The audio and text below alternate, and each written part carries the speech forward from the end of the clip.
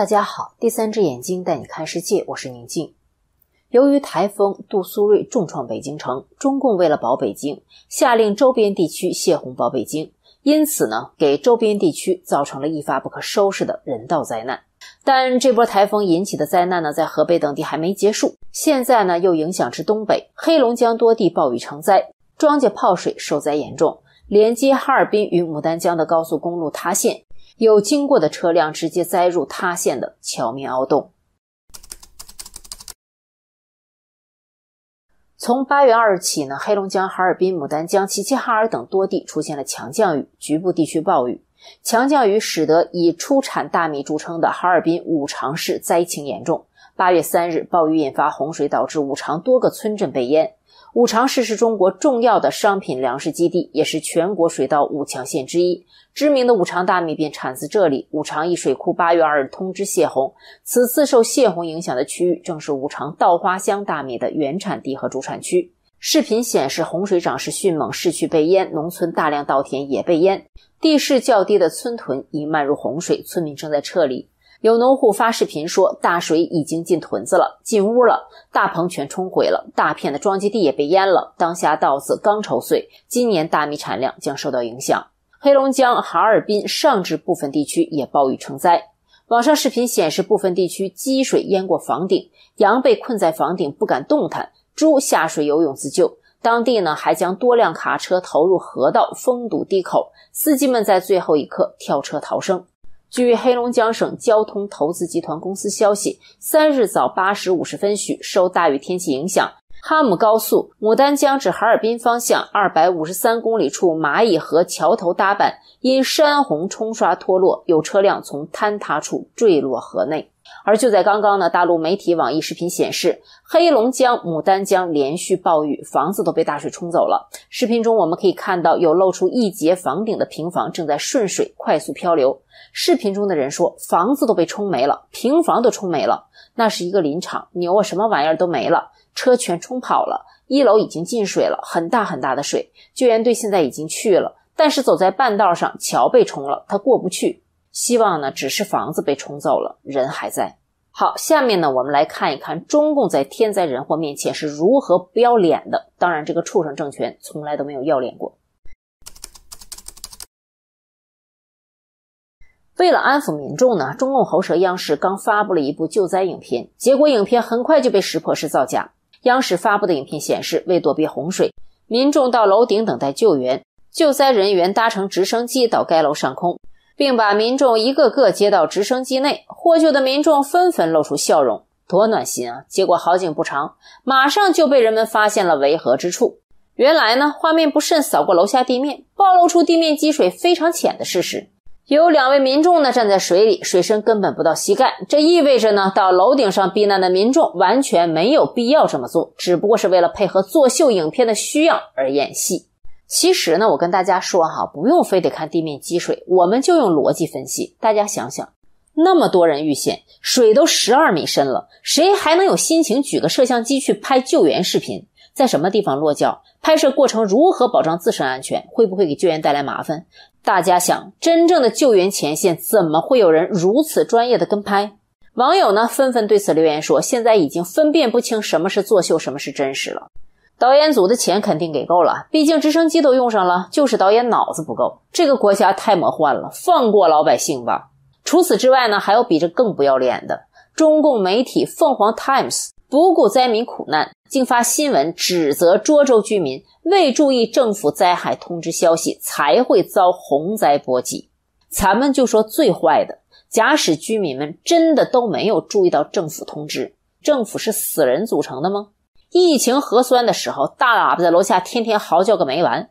大白成天一窝窝的在楼下晃，怎么到了这么紧急的生死关头就没有大喇叭了？就不能派当年看着百姓的大白去挨家挨户叫门通知吗？看不见死了就白死了吗？他们是没见过国外在疏散居民的时候是怎么做的吗？没吃过猪肉，没见过猪跑吗？中共的这些不要脸到家的做法呢，让你想到了什么？是不是也想到了一首歌里所唱的“一丘河就是一丘河，狗狗营就是营营狗狗”。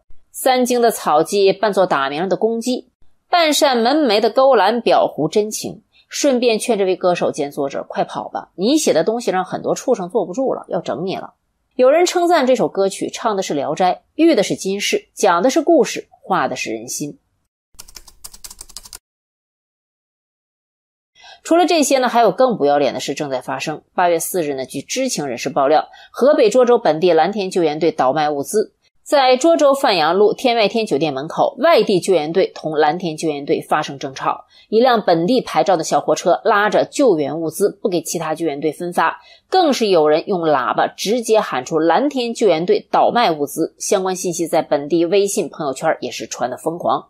有网友说呀，本地人的救援队都不顾本地人性命，早救一天能救多少人，还赚着带血的钱。其他网友也纷纷说，每次天灾人祸都有政府出手倒卖物资，每发生一次天灾，中共就发一次财。现在知道为什么治国这么多天灾了，就跟当时封控上海一样，倒卖物资。接下来呢，我们再来给大家爆一个最新的料。我们一再讲，中共这个恶魔不是解决灾难的，而是制造灾难的。在中共这个魔鬼的统治下，很多事情站在人的角度，你永远也不会懂，因为他是魔鬼。比如涿州被淹，淹完一次还要再来赶尽杀绝，再重淹一次。因为用中共河北省委书记倪岳峰的鬼畜说法呢，就是坚决当好首都护城河。他真是个玩意儿啊！前去涿州救援人员发视频爆料称，他们被要求撤离，并提醒志愿者不要再来。此前，中共官员称仍有三至四亿立方米的洪水要过境涿州。河北重灾区涿州灾情仍十分严重。据沸点视频八月三日报道，民间救援队到达河北涿州现场，积水深度仍达七八米，最深可达十二米。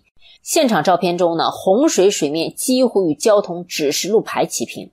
八月三日。大陆微博账号“河北新闻哥”上传一段视频，一名救援小哥录制视频，对家人们称，他们刚接到通知，他们要撤离了。涿州马房村这块可能要进行第二次泄洪，提醒志愿者同行暂时别来了。有网友在推特上爆料说，涿州部分地区立即停止救援，马上要进行二次泄洪，并且志愿者还没撤离，泄洪就已经开始了。还有人见到了不见了父母躺在木板上的小婴儿，很多人也在饿肚子。北京大爷的命是人上人的命也就算了，比普通老百姓金贵。但是没啥人，并且在更下游有更多时间撤离的还未建成的雄安新区，为什么不能泄洪呢？为什么要选全市人的小县城泄洪呢？千年大计比人命还重要是吗？还有网友说，来了武警官兵，以为是抢险救灾，没想到是来维稳的。谁阻挡泄洪，抓谁。另有网友透露，由于当地政府不作为，诋毁外地民间救援队，救援队缺少政府人员对接和当地向导，以及由于和政府部门相关人员产生矛盾，导致各地民间救援队正在退出涿州救援。有人可能奇怪了，中共有那个时间造假视频，为啥不派兵到洪水最大的地方去救人？中共的政府为啥要跟分文不收、只想救人的义务救援队过不去呢？我来告诉大家，我听到的一个消息。有朋友给北京的朋友打电话询问情况，他的朋友说北京四环之内没问题，之外就不行了。他朋友家的一个亲戚被水冲走了，但是河北这些为了保北京而泄洪的地区，中共已经指示了这些地区不要了，那里的人也都不要了，不救了。这就是为啥这个邪教政权第二次泄洪的原因，因为不要了。想起铁链女那句话了吗？这个世界不要俺了。但最无耻的呢，是我的朋友给他在国内的亲人打电话的时候，他的亲人却说：“都救出来了，是死人了，没死几个，死的都是救援队的，是被累死的。政府都说了，这就是为什么中共不许国人在网上传播任何与洪水有关的消息。我的朋友圈仿佛世外桃源一般。”没有人知道，就在他们自己所在国家的某一个地方，就在他们身边，有那么多生命被这个中共邪教白白牺牲了。现在呢，我们的视频在 YouTube 上被黄标，而 Facebook 呢，这个叫脸熟而不要脸的东西，已经不允许转发任何有关此次洪水的视频。当这些大科技公司都跟着作恶时，大家想想，他们就像烂透了的垃圾，会是什么结局呢？涿州的困境呢，还未解脱，涿州人的灾难也还没有完。这堪称是由中共一手制造的另一个史诗级人道灾难。中国人一日不觉醒，灾难就一日不会远离。然而对中共来讲，无非就是人口减少的快点而已嘛。他们还可以继续引进携带艾滋病的黑人啊。如果一家死一个人，可能灾后会涉及到赔偿问题。但是，一家人都死了，谁还需要赔偿呢？如果都死了，他们银行里还有存款的话，这不就无人认领了吗？政府这么缺钱，岂不是天上掉馅饼了？而且这么大的水，粮食一定减产，没关系啊，因为人也少了嘛。这样粮食也许勉强会够用。到时候又可以为中共的领导人唱赞歌，又是一个神话这个魔鬼政权的好机会了。所以呢，就在涿州遍地哀嚎之际，习近平中共高层已经开启了一年一度的北戴河度假模式。据路透社报道，中国国家主席习近平的幕僚蔡奇三日呢，在河北秦皇岛的北戴河会见了五十七名技术专家，敦促他们采取更多措施，好让中国尽快在技术上自力更生。这一信号通常意味着中共高层已经在这个海滨度假胜地展开了假期了。最后呢，我们再给大家提一个醒：八月的灾难还没完。今年第六号台风卡努正在中国浙江东部沿海，当地持续风雨天气，再加上天文大潮期，浙江石塘海域接连掀起巨浪，高达二十多米。另外，气象预计今年八月间将有两到三个台风登陆中国，南北洪灾风险高。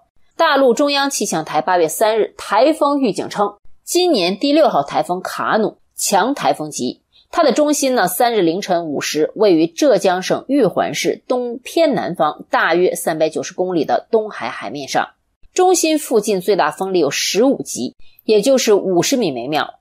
上午十时，台风在玉环市东偏南方向约三百七十公里的洋面上，浙江东部沿海刮起了七十八级阵风，沿海岛屿可达十至十一级。预计呢，卡努将以十公里每小时的速度向西偏北方向缓慢移动，将于四日上午在浙江南部近海海面转向东偏北方向移动，趋向日本以南洋面。浙江北部沿海部分中到大雨，局部暴雨、大暴雨；上海有分散性短时阵雨或雷雨。江苏南通到福建厦门沿海将现五十到一百二十厘米的风暴增水。浙江近岸海域将出现四点五到五点八米的巨浪。福建北部、上海近岸海域将现三点五到四点四米的大浪到巨浪。江苏南部近岸海域将现二到三米的中浪到大浪。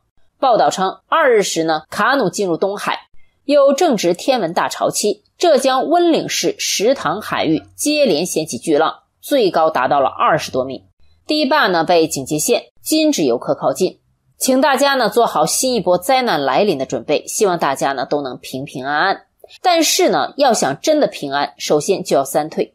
很多人呢还不明白为什么一定要三退。其实呢，在我们还不懂事的时候呢，中共就骗我们。在他的血旗下发毒誓，把终生献给无神论的邪教共产党，这就是在我们不知情的情况下与魔鬼撒旦签了约。